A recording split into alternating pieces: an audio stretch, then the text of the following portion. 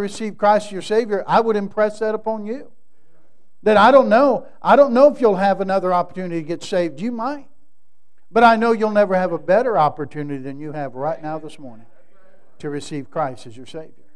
So I wouldn't put it off. Some are saved and they know they ought to be baptized and they put it off. And they put it off. How many times you heard us on big days when, when we have people come and uh, are saved and some start getting baptized and others people say, oh, I'll, I'll come back next week or I'll come back tonight. And, and always impress upon them the importance of being baptized immediately. Because of those who wait and those who say they'll come back later, church, how many of those come back and do it? Hmm. You don't see them, do you? You procrastinate and it doesn't get done. And so we the, the devil always tries to convince us that we got plenty of time to do those things. But the Bible reminds us that we're to walk circumspectly, redeeming the time because the days are evil. In fact, James tells us our life is but a vapor that appears for a little time and then vanishes away. How quickly it goes by. God doesn't want us to procrastinate when it comes to doing His will for our life and living as He says we ought to live. There are some in this room today who are living for God now, but at one point you were putting off living for God. Oh, you listen, God has you now, but He didn't always have you. And you look back and you say, Boy, I tell you what, no, nobody ever says, I'm glad I waited to surrender. I'm glad I waited to, to, to give it all to God. Oh, no, the, the, always the cry is, oh, I wish I'd have done this sooner in life. I wish I hadn't wasted some precious years that I could have been serving God. And I, and, and I can't get those years back. So he talks in this passage here in the first part about loving others from verse 8 up through verse 11 at end at verse 2 verse 11 and once he gets to verse 11 to the end of the chapter where we're going to spend our time this morning he's going to talk about living righteously living righteously it's vital that in these days in which we live god's people begin to be god's people i mean to look like god's people and act like god's people and, and let's not just play church let's live like christians and let's be the church not just go to church. And let's, let's let people see Christ in our lives. And so he says, first of all, he says, Christians, it's time to wake up. It's time to wake up. In other words, you're, you're kind of in a spiritual slumber, lethargy, apathy, indifference. And unfortunately, that is probably how a lot of folks go to church this morning. Just kind of, it's ritual, it's habit, it's Sunday morning, get up, I know what to do, I get dressed, I go to church, I sit there, I listen to the pastor yell at me, I, we, we pray, uh, I can't wait for Bob to sing, that means we're about done, and then I can go home and do what I want. And, and that we come in and we go out and there's no difference, there's no change, and we don't want any. We know we're apathetic. We know we're lethargic. We know we really, God hasn't spoken to us in a long time, and we're okay with that. And Paul is saying, hey, it's time to wake up. It's time to wake up and realize. Notice what he said. It's time to wake out of sleep, for now is our salvation nearer than when we believed. You say, wait a minute, my salvation is near. Wasn't I saved immediately when I got saved? Yes, you were. But there's, but there's, I want you to look, hold your finger there in Romans. We're going to come back there or put a piece of paper in there. Look at um, 2 Corinthians chapter 1, I believe it is. 2 Corinthians chapter 1.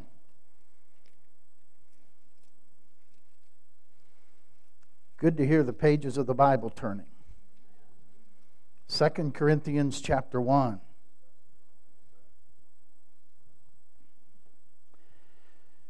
Now, notice what Paul writes here in verse 9. He says, But we had the sentence of death in ourselves, that we should not trust in ourselves, but in God, which raiseth the dead. Now, notice, here's salvation, verse 10 who delivered us from so great a death. That's what happened when you got saved. You got delivered from the power of the second death, which is death and hell, separation from God. How'd you get delivered from that? You put your faith in Jesus Christ, and God justified you. He made you righteous in His sight. You, you won't, listen, in that sense, listen, you're not going to be delivered from hell. You have been delivered from hell. You're not going to be delivered from the wrath of God. You have been delivered from the wrath of God. But then he says something else. Not only you delivered us from so great a death, and doth deliver. So he's still delivering me from not, not the penalty of sin. The, I've already been delivered from that. But now he is delivering me from the power of sin in my life. That's called sanctification in the Bible. Okay? That's all it's all part of the salvation that God gives us. That's why Paul said in another place, he said, It's so great salvation. Huh, it's so great a salvation. And so we have justification, where it's already taken place. We have sanctification, which is an ongoing process in our life, where God is delivering us day by day. Nobody, no Christian has to live under the power of sin. No Christian has to live under the power of something or someone else. It's you because you, have greater is he that is in you than he that's in the world. And you have that ability. So he's delivering me now, but then it says, notice, in whom we trust that he will yet deliver us. He's delivered us, He is delivering us, and He will yet deliver us. There's your salvation. Well, what's going what do you mean He'll yet deliver me? One day, He'll deliver me completely from the presence of sin altogether. That's called glorification. And that day is closer than it ever has been, than it ever has been before. We, we don't know when Christ is coming and when that day is going to happen, but I know it's closer today than we were yesterday. And that day's coming, when, when we'll be completely free and delivered from even the presence of sin. That is, that's why over in Titus, uh, Paul wrote, teaching us that denying ungodliness and worldly lusts, we should live soberly, righteous, and godly in this present world. Doing what? Looking for and hastening unto the, the, the appearing of the great God and our Savior, Jesus Christ. We're looking for the appearing of Jesus Christ. What effect does that have on us? We're going to live godly and righteous and soberly in this present world. Soberly doesn't mean I'm not going to be drunk, it means be serious about this. How serious are you about living for God? How serious are you about, about doing what God wants you to do and living the way God wants you to live? Is this a game you're playing? Just emotions you go through? Or is it really something, man, I got I gotta wake up. I got to slap myself. I got I got to get with it here. This is big business. This is serious stuff. And God said, not forsaking the assembling of ourselves together, as the manner of some is, but exhorting one another, and so much the more as ye see the day approaching. You ought, to, you ought to desire. Listen, and, and we see just the opposite in our churches today. You know what? We, we have churches that aren't looking for more times to meet, we have churches looking for less times to meet. Churches that cut out Sunday school and just have, let's just meet for an hour on Sunday morning. I see buildings and I, I, I get, God has to help me not to get a little uh, covetous in my heart when I see their beautiful facilities and realize they're only meeting there for like an hour and a half a week. And think, man, we could be there Sunday morning and Sunday night and Wednesday night and Friday night and Tuesday night. Man, we could, we could utilize those facilities. So much the more as you see the day approaching. Listen, that means, listen, that means God puts a premium on you being in church and being together with other believers. Don't, don't take it lightly. Don't think, well, there's, there's a ball game today, and I think we'll go there. Oh, well, it's a nice day. Let's go out on the lake. Listen, church is more important than that. It is more vital than that. And you don't just get flippant about it and get indifferent about it. That's what the Lord is saying. What happens when the Son of Man comes? He says they're going to be eating, drinking, marrying, giving in marriage. They're just going to be living life. Nobody, nobody, nobody taking concern the fact that Jesus is coming back. And I don't think he's just talking about the world. He's talking about us. His people. The sands of time are quickly running out. Now, when it says over in Romans again, if you go back to Romans 13, notice verse number 12 the night is far spent, the day is at hand. The night there, of course, refers to Satan's time on this earth. Darkness or night is always a reference to sin. Whenever you see darkness in the Bible, it's a reference to a lack of spiritual direction in somebody's life. You walk in darkness, you can't see where you're going. Okay? You don't, you don't see where anything is. And when we say that we don't need God in our country, and we say that we can kill babies in the womb, when we say that two men or two women will constitute a marriage, when we say that a man can be a woman and a woman can be a man, we are walking in spiritual darkness. We have lost our direction. We are, we are right where Paul said we'd be when he told Timothy, In the last days, perilous times will come. We're there. We're not going to be there, we're there.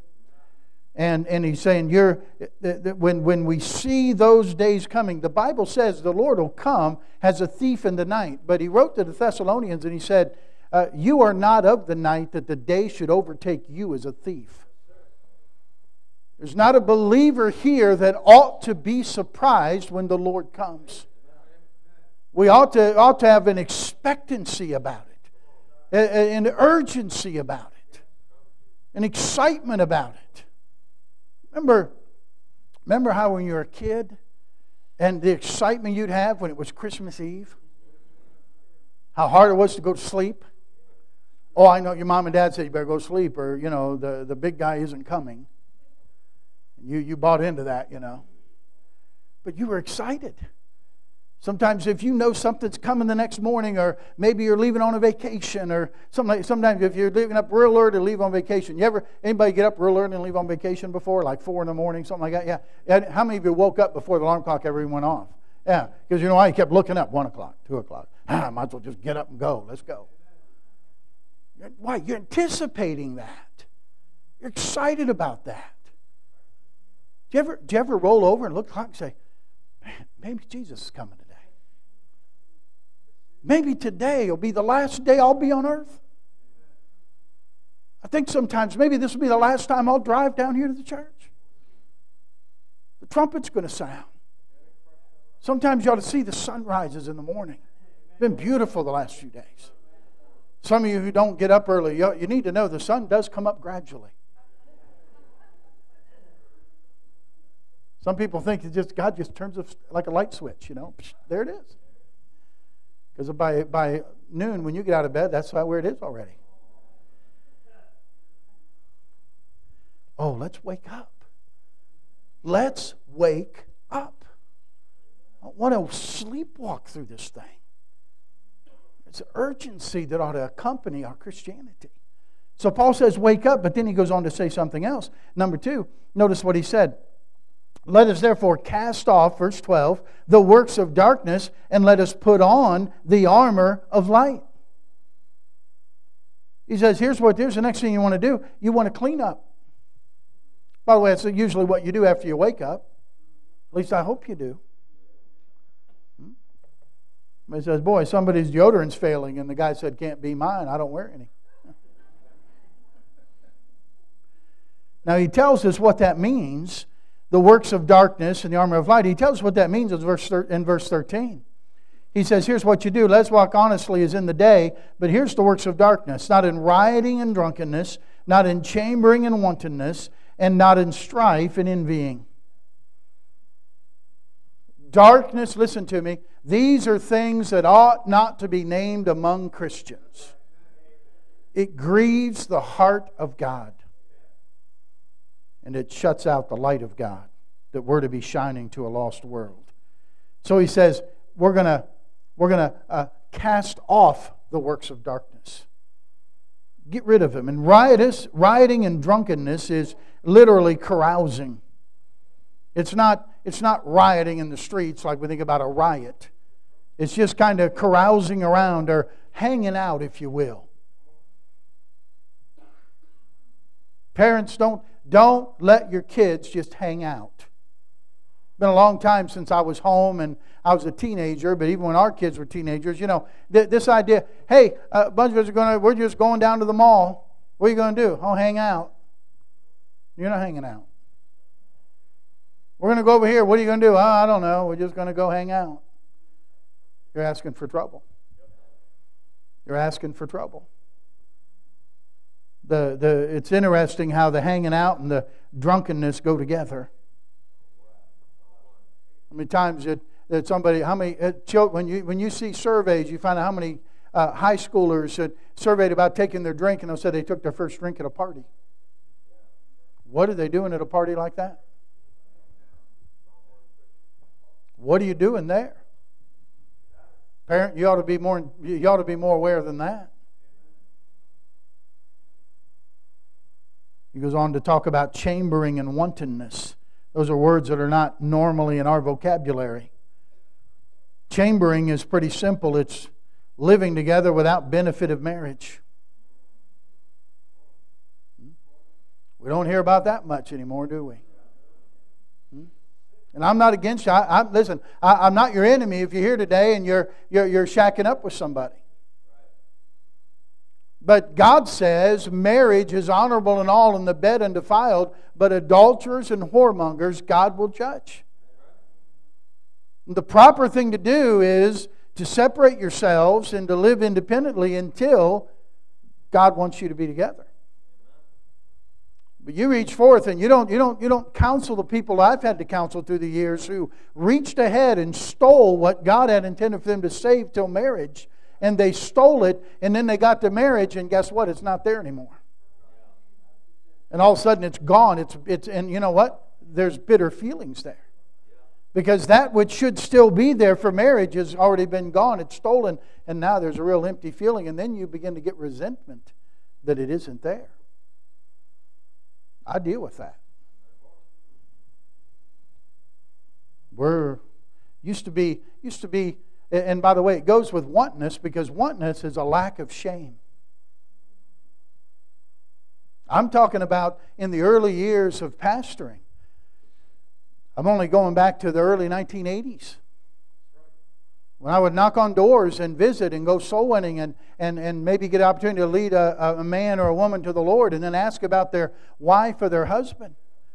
And I'd watch as they kind of hang their head. And they say, Well, she's not really my wife. We just live together. They were embarrassed to admit that. Not, not anymore. Now, there's, there are even people who have children out of wedlock and, and they, they advertise it and put pictures up on it. And listen, and by the way, they're, they're not illegitimate children, there are illegitimate parents. But what a shame. We've lost our ability to be shamed. Listen, it's it's a it it wantonness is an ability to no longer be embarrassed. We're there. Can I help you? Can I help you this morning? Hey, undergarments are called that for a reason. They ought to be under your other garments. They're not to be seen. Okay, can I help you? Okay, ladies, that means keep your undergarments under your other garments. And fellas, uh, pull your breeches up. Nobody wants to see your undergarments. What was our shame? Lady, if it used to, if she used to have her undergarment show or something, she'd blush and say, "Oh man, I'm sorry." Now, don't care. We've lost our ability to be shamefaced and, and to blush. Not, hey, I'm not just talking about the world. Talking about us. Okay? Get back to propriety and, and, and modesty decency. Stuff that stuff that we used to listen, stuff that used to embarrass us is now on television and people brag about it. And if you're and if you listen, you as a believer have no business watching that garbage. Garbage in, garbage out. There's nothing on there's no, listen, there's nothing on the daytime television that's going to be worth your while watching. I don't know of anything on primetime TV that's worth watching. I can tell it's popular this morning. If you wanted something sweet, you should have went to the donut shop before you came to church. Okay?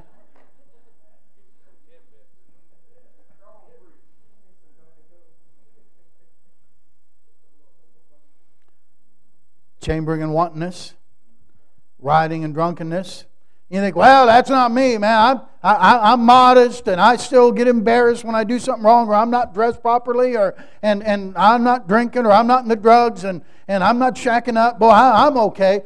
Oh, he didn't stop yet, did he? What's the next two? Strife and envying. Oh, now he's going inside, isn't he? Now he's getting to where we all live. Now he's getting to those of us who think, well, I don't have those problems. I'm good.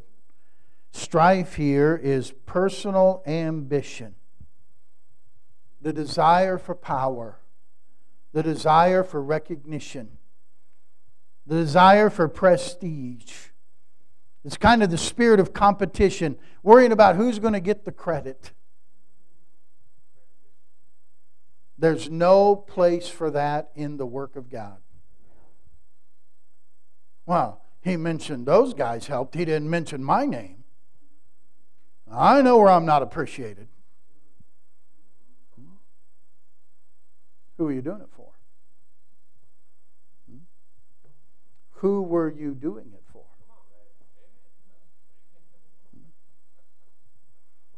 You can't have as, as Paul wrote Church of Corinth, you can't have Paul and Apollos competitions in church. You can't have that. What's church all, hey, you said, well then what, what's church all about? It's all about Jesus. He's the head of the church. In all things, he is to have the preeminence. We're here about Jesus. You see, it goes, it goes along with the next one. Strife and what? envying. You know what envy is? Envy is jealousy. Jealousy. Huh. They never asked me to sing in a group. Hmm? You know what that is? That's just jealousy.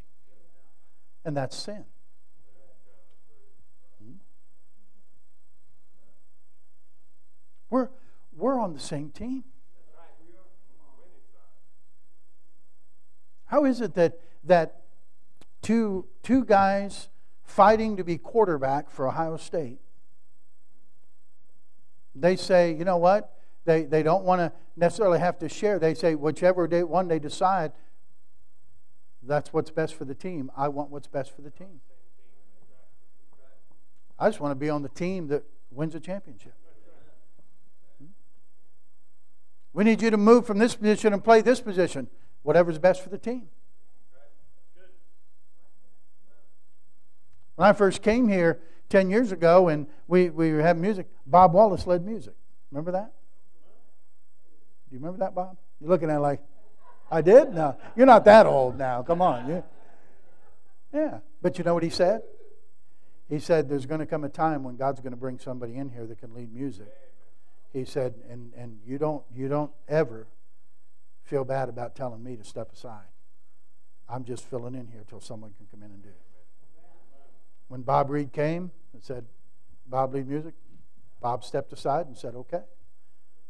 You know why? There's no, there's no envying. There's no jealousy there. Because we're on the same team. We're all, we're all pulling for the same. We want to do whatever is best for the team. No envy and strife. Hey, that's in, if you can be you can have envy in your heart. You can be striving for superiority and prestige and nobody see that.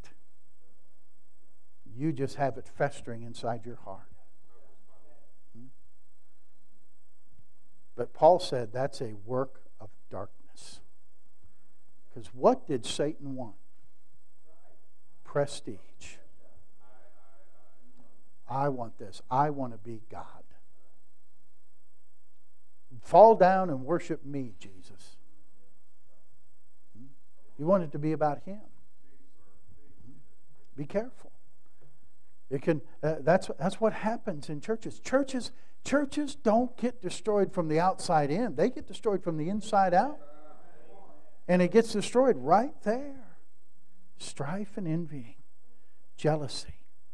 So he says, Wake up, Christian, and, then, and listen, cast it off. As soon as that thought, we'll say this in a moment, as soon as that thought comes into your mind, get rid of it. Say, no, that's stinking thinking. I'm getting rid of that. That's not right. Wake up, clean up, and then number three, verse number 14 is dress up. He says, Put ye on the Lord Jesus Christ, and make not provision for the flesh to fulfill the lust thereof. You, you positively, first, the positive, you put on Christ. Have you, have you ever had a determination and made up your mind that I'm, I am going to do, I am going to get as close to God as I can? I want to know Him as intimately as possible. I want to pursue Jesus Christ. I want to pursue getting to know Him. He uses the full title here for Jesus. Notice the Lord Jesus Christ. The Lord, obviously, it means He's the master. He's to be over all our life. We're to be submissive to whatever He says. Jesus is our pattern. We're to follow His steps. Jesus lived His life on earth as a spirit filled man. That's why we can follow His steps. Don't cop out and say, ah, he was God.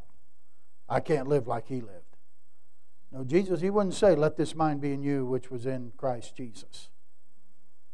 We can have the mind of Christ. And then Christ is the anointed one or the power of God for our lives.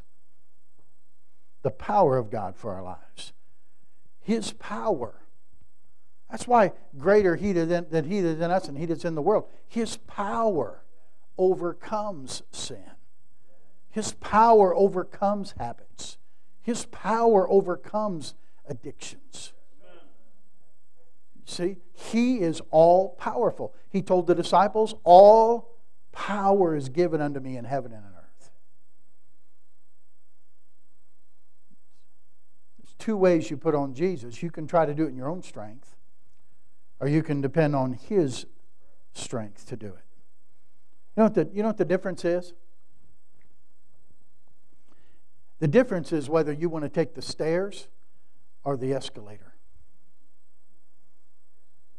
There's, if there's 50, 60, 100 steps to go up, and there's stairs on the right side or an escalator in the middle, hmm, I think I'll take the escalator. Now, I don't have to put any effort into that. I just have to get on there, and guess what? it provides all the power I need. Now, I'll get to the, I'll eventually get to the top taking the stairs, but sure is going to wear me out trying to get there. Why don't you, hey, and I can really get there quickly if I put some effort into it and I'm on the escalator. You ever been on the escalator and kept on walking? Whoa.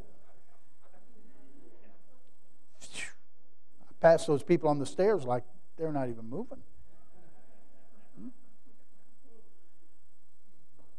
know what happens when people really grow in their Christian life? Is when they put their best effort for it and they're relying on the power of Christ. Boy, they excel. They excel. And you go and you grow quickly. You see, he said on the negative side, on the positive side, you put on Christ. On the negative side, you, you don't make provision for the flesh. Provisions are provisions are food. So what's he saying? Quit feeding your flesh. Quit feeding your flesh. Make provision means you have to plan ahead for it. When I'm making provision for that means I've planned ahead for that to happen and I'm prepared for it. How many times have we planned ahead for our flesh? So it'd be easy to do what it wants to do. You can read about somebody who, who, who oh, so and so fell into sin. They thought themselves into sin. You think about it. And, and all sin begins in our heart. You say, well, don't I think in my head? No. You think in your heart.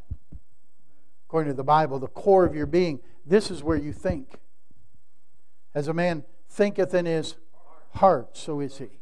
Let the words of my mouth and the meditation of my heart be acceptable in thy sight, O Lord, my strength and my redeemer.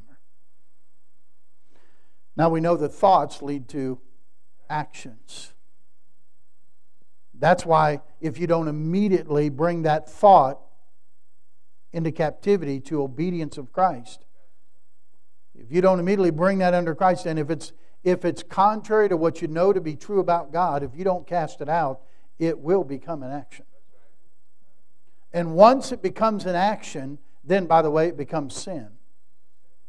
Because lust, when it conceives, bring forth sin.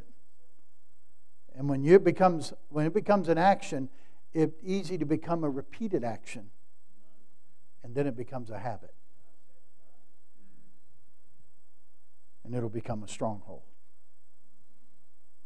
And it's so much easier to win the battle when it's a thought than when it's become an action. Cast out the thought. Make no previous preparation for the flesh. Wake up, clean up, dress up. Adoniram Judson, the missionary, said, A life once spent is irrevocable. It will remain to be contemplated through eternity. The same may be said of each day. Once a day is past, it's gone forever. All the marks which we put upon it, it will exhibit forever. Each day will not only be a witness of our conduct, but it will affect our everlasting destiny. How shall we then wish to see each day marked with usefulness? It is too late to mend the days that are past, but the future is in our power. Let us then each morning resolve to send the day into eternity in such a garment as we shall wish it to wear forever. And at night, let us reflect that one more day is gone, indelibly marked. In light of time, are you putting on the Lord Jesus? You consciously, as much as I constantly put on a suit coat or you constantly put on your dress or your blouse or your shirt this morning? Do you consciously say, I'm putting on Jesus today? I want to be clothed in Him today. Time is short. The time is short. You say, well, uh, they've been saying that for years, preacher, and Jesus hasn't come. I know. But even if Jesus doesn't come, I'll tell you, the time is short. How many have grandchildren in here? Anybody have grandchildren? Wow, quite a few. How many maybe look at your grandchildren and can remember so easily when that was your children, that age? Huh? Yeah. You ever, you ever look at it and think, whoa, where'd the years go? Where'd the years go? We're looking at we're, we're, we're looking in a few months at 2016. I can't believe that. That's unbelievable. Why? Life's a vapor. It appears for a little time and vanishes away. If you're not saved, I want to encourage you to be saved today. It's later than you think. And you never know. Listen, Satan likes to tell you that you're too young. Or he'll tell you you're too old. Or maybe he'll tell you you're too popular or you're too busy. But I think his favorite excuse is just say, oh, you need to get saved, just not right now. Just put it off. And he likes to do that to Christians as well. Decisions that you know God wants you to make and changes that you know need to be made, and yet you say, Yeah, I'm going to do that. I, I, I need to do that. When are you going to do that? If not now, when? Hmm? Isn't it time to wake up? Isn't it time to clean up? Isn't it time to dress up? Put ye on the Lord Jesus Christ. Let's be what we ought to be. This is a great time to live. This is a great time to be alive. Great time to impact the world for Jesus Christ. But somebody's got to get serious about this. Let's be what we ought to be for God. Let's pray, shall we? Father, take the truth now this morning. Thank you for the encouragement and the challenge from Paul here in the book of Romans. And Father, I thank you for everyone's attention this morning. And Lord, I pray that you've moved up and down these aisles and in and out of these rows and have stopped at the seats and dealt with the hearts of people this morning.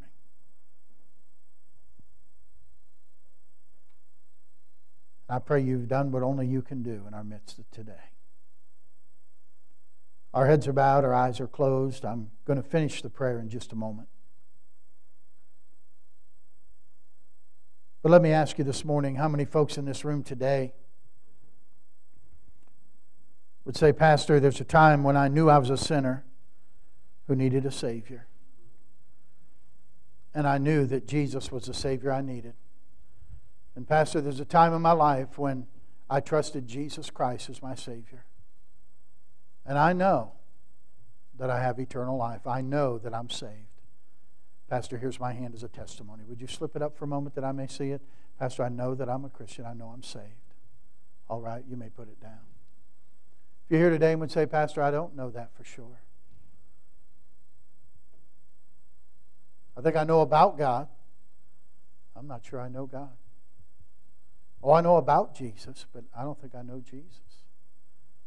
The way you guys talk about salvation, the way you talk about saved, I, I don't think that's what I have. Would you let me pray for you this morning? Would you be kind enough to slip your hand up right now and say, Pastor, I don't know if I died, I'd go to heaven. I don't know that I've ever received Jesus. Please pray for me this morning. Would you slip it up and put it back down that I may see it today? Let me pray for you. You couldn't raise it the first time, but you'd raise it this time. Would you do that? All right, I see that. The message was to believers today. I wonder how many believers here today would say, Preacher, the Spirit of God stopped at my seat this morning. I don't know whether it's just to wake up, get, it, get some urgency with your Christianity again, or whether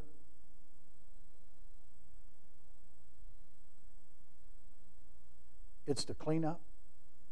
There's some things in your life that you know ought not to be there. And you need to cast off those works of darkness. And you need to dress up. You need to put on the Lord Jesus Christ. You need to stop making provisions, prior preparations for your flesh. God spoke to your heart this morning. Say, Preacher, I needed that message today. God spoke to my heart. Would you slip your hand up and say, Pray for me, Christian? Pray for me? There you go. Amen. Amen. You may put them down. You may be here today and say, There's a decision. There's some decisions that I know God wanted me to make, and I've been procrastinating. I've been putting them off. But I got the wake up call this morning. And, preacher, I'm going to make that decision today. Would you slip your hand up and say, That's me? Amen. Amen. Amen. That's good. Don't put it off, Christian. Trust and obey. There's no other way to be happy in Jesus but to trust and obey. Heavenly Father, thank you for speaking to hearts this morning. And Father, I'm praying that each individual now will do what you've told them to do in their heart. Just as you have spoken to them through your word, I pray they would speak to you on bended knee at the altar. And Lord, whatever it is that you're prompting them to do, they would obey. I want your will to be done in these next few moments. That you would do what only you can do in this invitation time. Those who need to receive Christ and they've never been saved, may they come and receive you as their Savior today. Maybe they're saved, never been baptized, and they say, I need to be baptized. Maybe they're saved and they're baptized and they ought to belong to a church. They say this is where we ought to belong and we want to serve God. Maybe they just need to surrender to be a full time servant of God. Maybe there's some other things that you've prompted them to do to, that they need to cast off and get out of their life, and they'd come and bow their knee and surrender those things and leave it at the altar today. Whatever it is, Lord, that you've dealt with hearts about, I pray they'd respond to you. Thank you for speaking to our hearts today. With their heads bowed and eyes closed, you stand to your feet if you would, please. As you stand to your feet, our pianist will play. As she plays, Brother Bob's going to sing, and as he sings, God has spoken to your heart. Respond to the Lord this morning, will you please?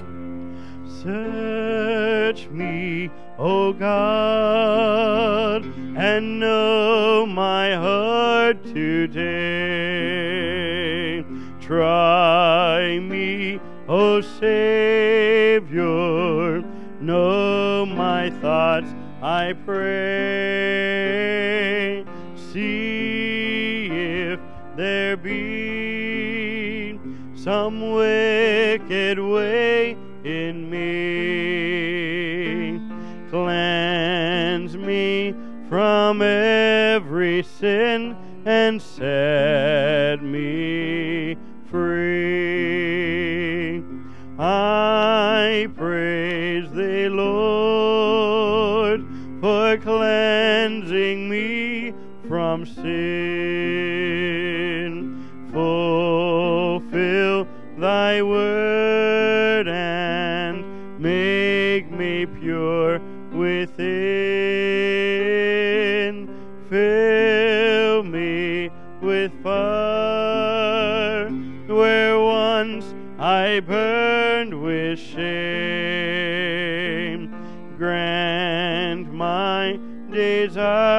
to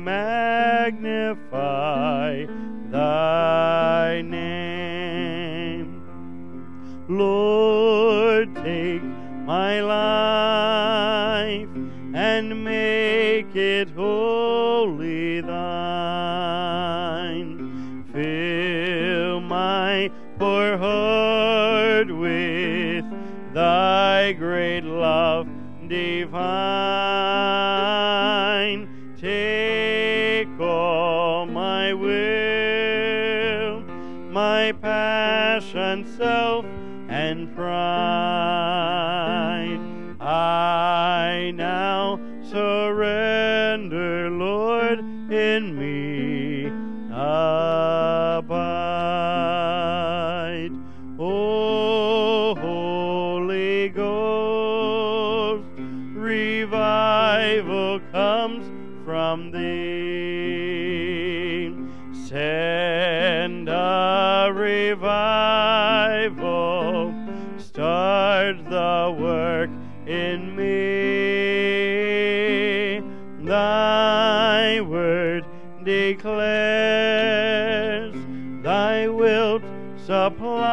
Supply our need.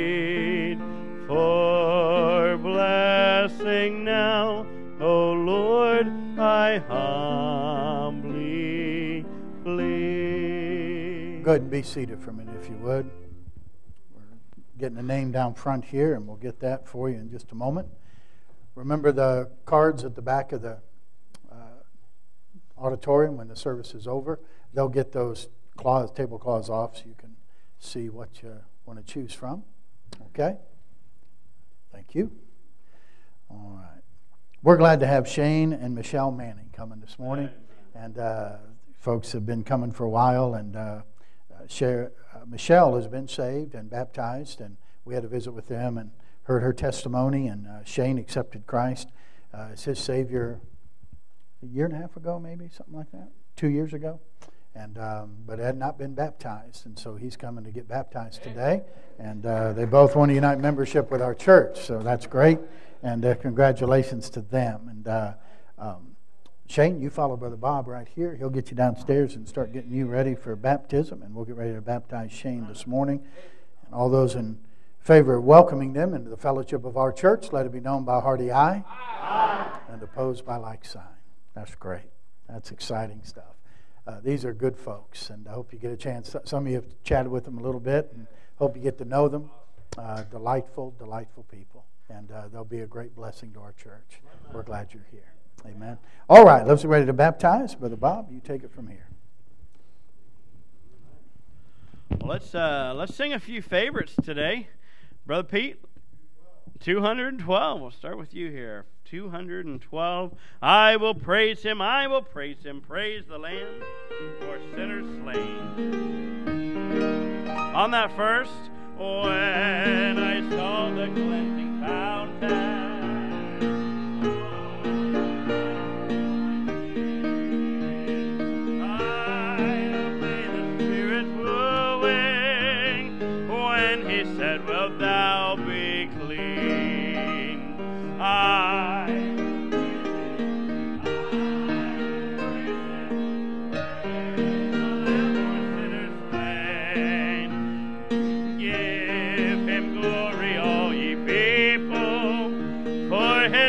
Can wash away each stain. Amen. Leanne? 246. 246. I'm pressing on the upward way. New heights I'm gaining every day. On to higher ground. 246. On that first together, I'm pressing on the upward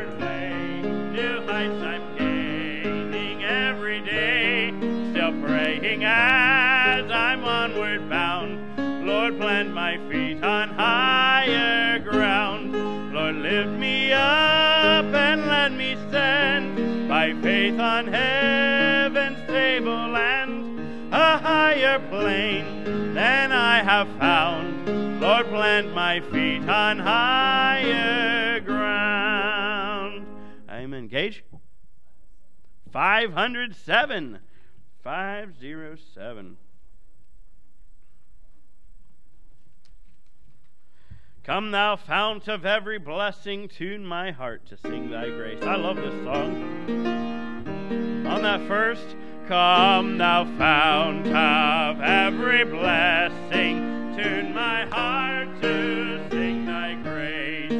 Streams of mercy, never ceasing call for songs of loudest praise. Teach me some by flaming tongues above. Praise the mount I'm fixed upon it, mount of thy redeeming love. Mandy? 538. 538, blessed be the name of the Lord. 538, all praise to him who reigns above. All praise to him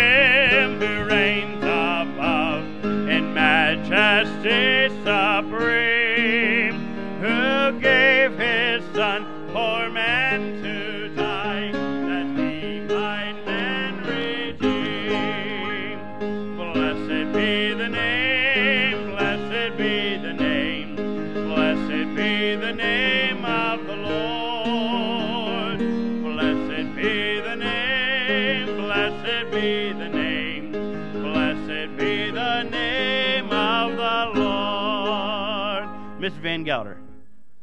Number 11. I like this one too. Number 11. This is good. He is mine. Long before the fall of man, long before the fall of man, God designed a master plan. He exchanged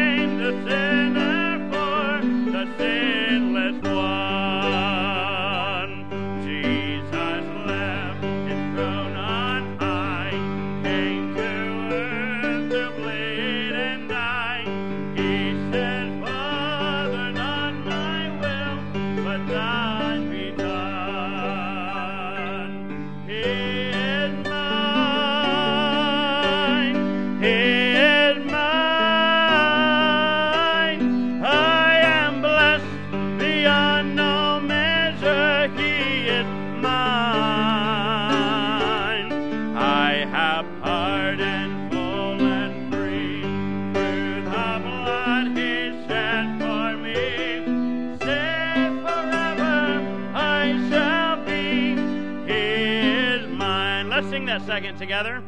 Through God's mercy and His grace.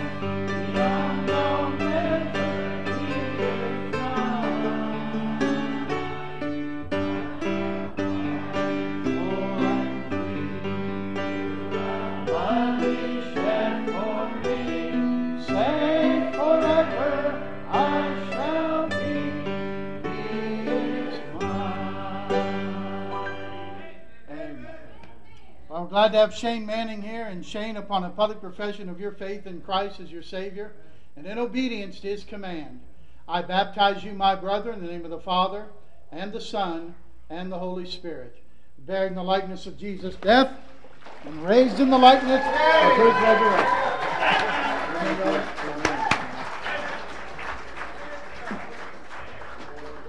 And the servant said, Master, it is done as thou hast commanded, and yet there is room.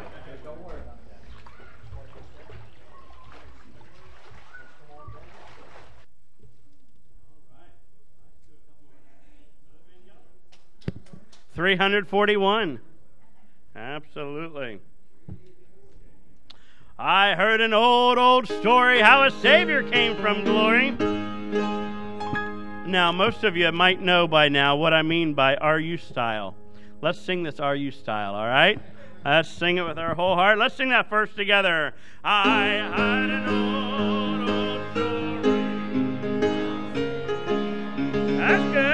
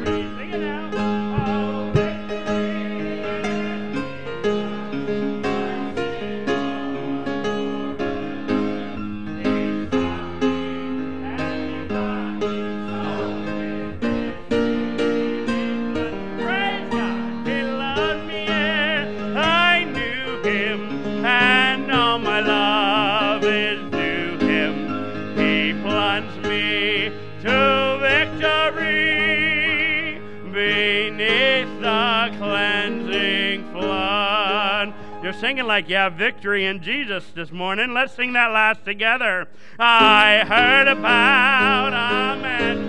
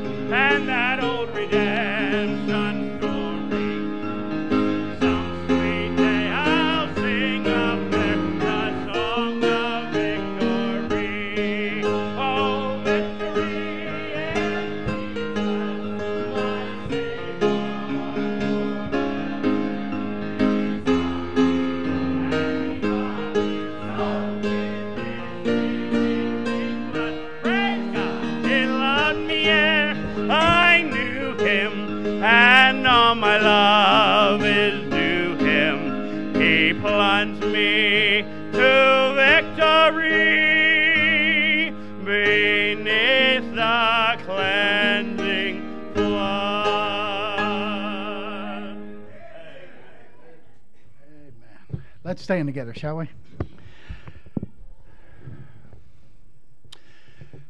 All right, let's pray, shall we? Father, thank you for a wonderful morning this morning. Lord, it's been good to be in the house of the Lord. Thank you for each one that made their way here today. Most of all, Lord, thank you for speaking to our hearts. We thank you for Shane and Michelle and for leading them our way. Pray your blessing upon their lives.